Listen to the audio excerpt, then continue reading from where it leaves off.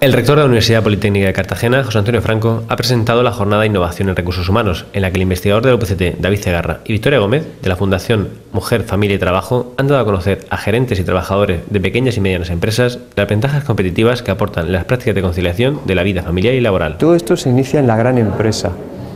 y de la gran empresa el modelo funciona y se quiere trasladar tal cual a la pyme. Y las pymes no tienen ni los medios, ni los recursos, ni la capacidad organizativa que tienen las empresas. Y nosotros lo que aportamos es darles a conocer que ellos tienen unas limitaciones, una realidad diferente a la gran empresa y en función de eso hay que adecuar